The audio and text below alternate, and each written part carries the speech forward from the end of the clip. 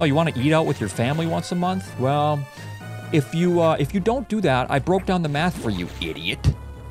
Like you flunked out of elementary and you can't do math. So here's the math. Um, if you don't ever get coffee, if you don't ever eat out, um, you'll save $250 a year. Over 10 years, that's 2,500. Did the math for you again, dumbass. Um, over 100 years, that's, uh, you know, that's, that's 10 times all that. So that's 25,000. Wowzers. So if you save money for, for 100 years by not doing these things that are quality of life, you save $25,000. What are you, poor? That's the kind of shit I'm talking about. Oh, it's just losing it.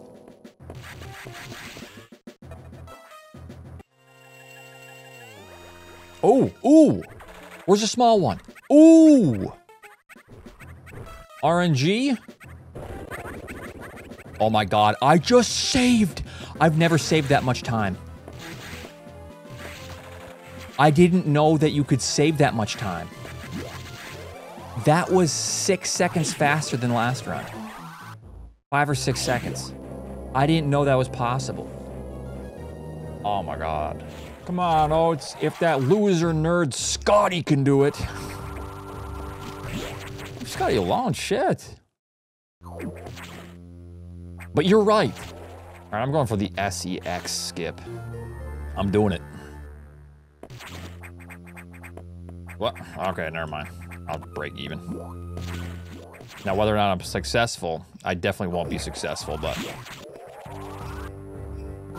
If I'm successful once, the chat's gonna always say, Yo, dude, you going for that skip again for the world record? Uh-huh, yeah.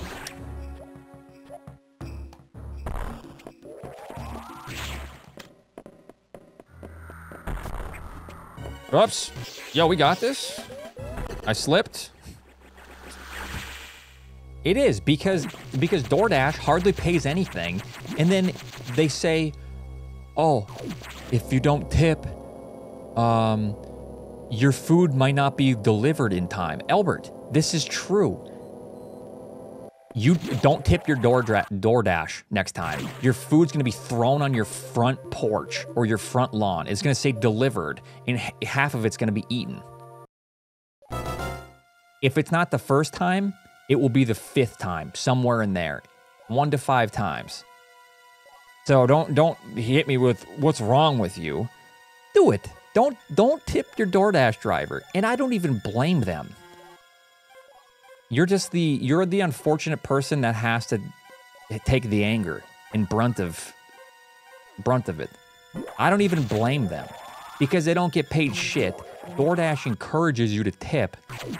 And then DoorDash tells you, oh, if you're not going to tip, your driver's going to take longer because they don't pay their workers.